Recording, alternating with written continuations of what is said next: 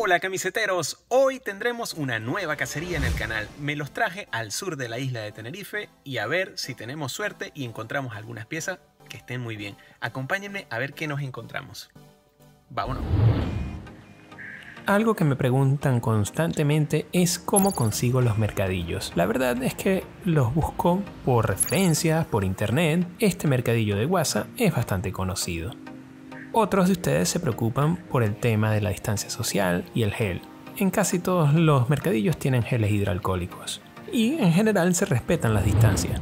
En el primer pasillo me encontré con este puesto, donde me pareció ver algunas piezas deportivas, y en efecto lo eran. Son maillots de ciclismo, uno del Che Guevara y poco más. Nada de fútbol. Seguimos.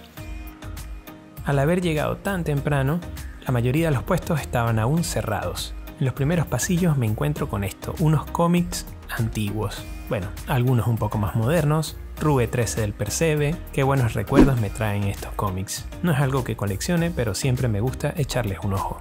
¿Y tú coleccionas cómics? En el tercer pasillo algo llamó mi atención. Sin duda son camisetas deportivas. El vendedor está recién abriendo el puesto, así que seguiremos y en la siguiente vuelta veremos. Apenas cruzo el pasillo mi vista se va con este azul intenso. ¿Lo reconocieron? Seguro que sí. El puesto está cerrado, así que no tiene sentido esperar. Vamos a seguir. Otro puesto cerrado, con ropa deportiva, lo apunto en la memoria. Siempre les recomiendo tomarse el tiempo de revisar todos los racks donde ustedes crean que pueden haber posibilidades. Aquí arriba, un conjunto de niños de Rogers del Barcelona de los 90, nuevo con etiquetas. De momento no me interesa. Fíjense lo vacío que está el mercadillo todavía. Más ropa deportiva, camisetas, camisas, todo mezclado. Por eso siempre debes revisar. Nada por aquí. No me alejo mucho de la camiseta del Real Madrid. Si yo la veo, los demás también pueden verla. Pero para evitar sorpresas decido regresar al puesto donde estoy seguro que habían camisetas de fútbol. Y justo al llegar, bingo, una camiseta del Celtic de Glasgow. Sigo revisando otra del Celtic. Vaya, una es suerte, dos es un lujo, otra más. Me doy cuenta rápidamente de que estamos ante un lote de camisetas. Esto ocurre cuando algún aficionado las obsequia todas o las vende todas de golpe. Pues bien, seguimos encontrando tesoros. El corazón se acelera. Perdona, ¿qué pides por las camisetas? Vale, me piden 3 euros la unidad. Sé que he encontrado la joya del día. Otra más. Sigo buscando para que no se me pase ninguna. Otra más del Celtic. Sin duda era un fanático del Celtic otra de niño, del 89, y Bingo, una de Irlanda, del 96, muy buscada. Esta es muy curiosa. Es una camiseta O'Neill's irlandesa que se asemeja al template de Adidas del 92. Hablo con la persona y le digo que las voy a bajar para verlas con un poco más de detenimiento. Esta está firmada y en muy mal estado al ver con detalle me doy cuenta de que son firmas de niños. Vaya por Dios. Una camiseta del 99, Umbro también, todas originales. Lo sé por las texturas, los acabados, hay veces que no hace falta revisarlo para estar seguro.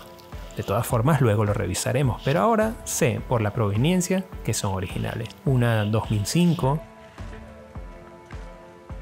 sigo viendo. Esta es una de mis camisetas favoritas de visita con este verde flúor tan lindo entre negro. Genial. Me encanta este diseño. Otra 2005, pero esta sin sponsor. Una 89, igual que la anterior, pero de niño, en mejores condiciones. La de Irlanda, Celtic, las coloco abajo, luego las veremos con más calma. Otra del Celtic. Y este polo de una peña del club, probablemente de la misma persona. Las coloco aquí, las contamos y son un total de 13 piezas. sin temor, le hago una oferta. ¿Podríamos acordar 25? Y a ver si tengo un poquito más de suerte, ya que No, las estoy comprando todas. Y muchas tienen defectos. no, Acordamos 25 por todas. Un excelente precio. Le agradezco. Y justo cuando me estoy yendo, me llama. Decide regalarme otra. No, hombre. Así que me llevó el polo de la Vale, peña del Muy Celtic. amable, me llevo hoy. Resultó curioso. Muy amable. Total, 14 piezas. Sigo ya muy contento. Vuelvo a pasar por el puesto del Real Madrid. Aquí sigue, cerrado. Reviso un rack que estaba justo al lado. Son de niño. Una de rugby de Inglaterra. Bueno, está bonita, pero creo que es pirata. No es algo que coleccione. No se Sí. preocupe.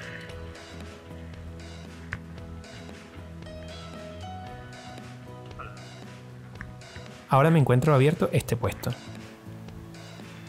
Para mi sorpresa son camisetas de un colegio. No es lo que busco.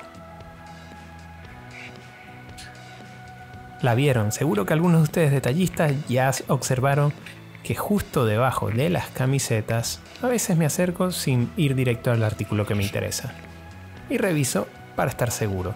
Pero el artículo que me interesaba es una gorra del Mundial de USA 94 no se aprecia mucho en la imagen, pero estaba en mal estado. No pregunté precio, quizás para más adelante.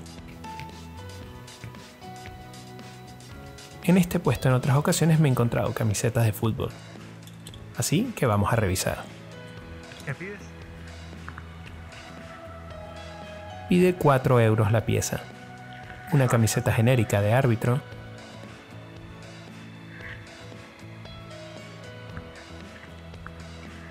Otra verde también de árbitro. Y una camiseta de entrenamiento del Tenerife, de Hummel, probablemente del 2014-2015. Muy linda, pero por 4 euros tengo que revisarla bien. Estoy seguro que es original, pero el escudo que está impreso está en muy malas condiciones. Estoy sé que apenas lo lave se caerá. Así que paso.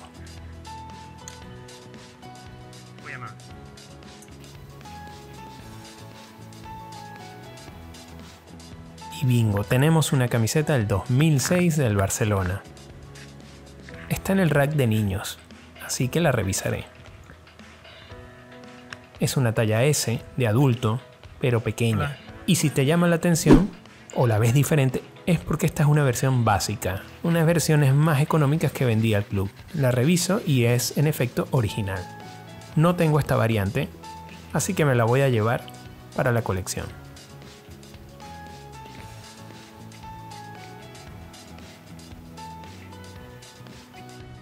Sí, señora.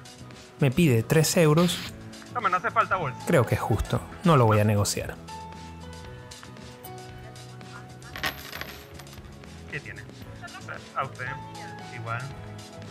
No me alejo demasiado de mi objetivo, la camiseta del Real Madrid de 1999, la tercera equipación. Desconozco la talla, pero sé que es una camiseta que me interesa. Me encuentro con camisetas deportivas, todas sublimadas y en general de diversos deportes. Running, paddle, por ahora las dejo allí. Vale, muy amable. Sigo revisando. A ver qué aparece. De momento, nada. El puesto de al lado de las camisetas del Real Madrid ya abrió y resulta curioso porque es un puesto de camisetas copias. Me pregunto si alguna vez habrán vendido alguna original. Después de algunas vueltas al mercadillo, decido descansar un rato en la plazoleta de comidas. Tenía hambre, pero lastimosamente todo estaba cerrado. Incluso alguien bostezando por aquí. No fui yo. El día ha ido bien, estoy un poco cansado porque madrugué bastante, la verdad, pero han aparecido piezas muy interesantes. Vamos a ver si aparece alguna más antes de irnos. Después de unos minutos decido que es momento de regresar al ruedo. Ojalá tengamos suerte. Una camiseta genérica de los 90 tenía muchos enganchones, por eso no pregunté ni precio.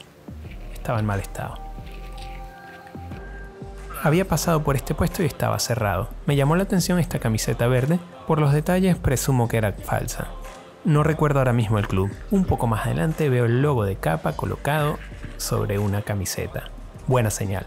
Me acerco y es una camiseta de los 2000, pero de un equipo de voleibol. En mal estado, la dejé allí. En este puesto me encontré los maillots de ciclismo y decido entrar. Y sorpresa, me encuentro con una bufanda del Valencia Club de Fútbol. Es un producto oficial, así que me interesa.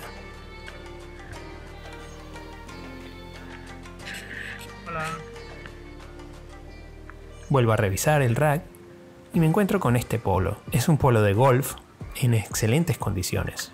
Me gusta y en general aliento a utilizar ¿Qué pides por la ropa de segunda mano.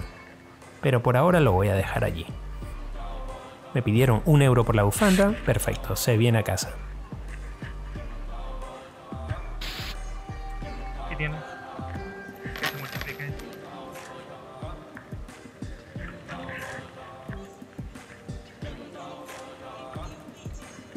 Esta camiseta me pareció curiosa. Tenerife.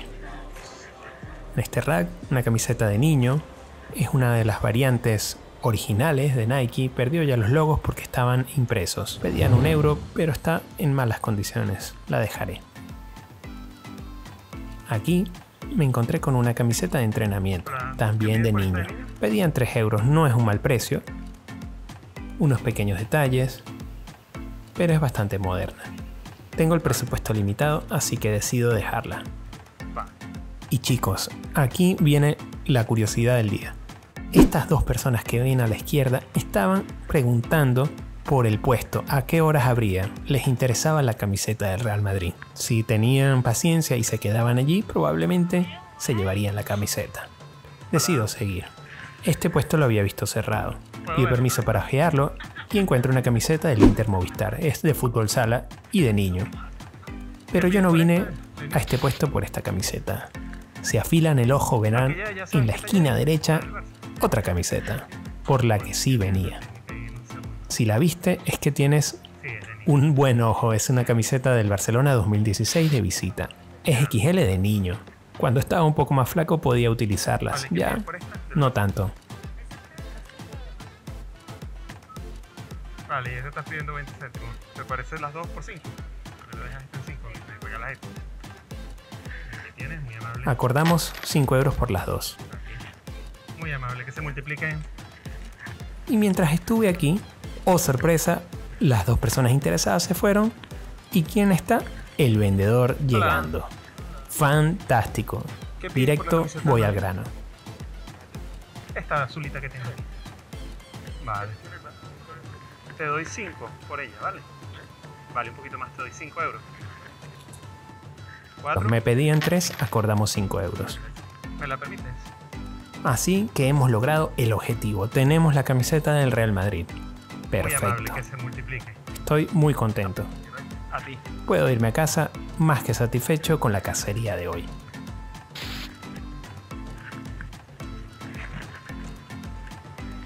Un poquito de gel y déjame saber tú qué opinas, cuál ha sido la camiseta que más te ha gustado de esta cacería. Bueno chicos, ya salí del rastro. No sé si al final se pudo grabar o no la compra de una camiseta del Real Madrid y una del Barça. Espero que se haya grabado porque me quedé sin batería. Pero estuve esperando hasta que llegaran esos vendedores y pude hacerme con las piezas a muy buenos precios. La del Barça por, era de niño por 5 euros más otra adicional. Y eh, la del Real Madrid, que está muy bien, tiene un par de enganchones, me pedían 3, la compré a 5. Así que muy bien, muy contento, ya nos vamos a casa. Si el video te gustó, apóyame con un like. Mira cómo estoy sudando, creo que me lo gané, pero el día estuvo muy interesante. Lástima que no, no estaba abierto ningún tipo de comida, así que me voy. Muchas gracias por ver el video, like, suscríbete, nos vemos, hasta luego. Al final sí que conseguí unas empanadas colombianas buenísimas que venden muy cerca del rastro y además, miren lo que tengo aquí. Vamos a verlo.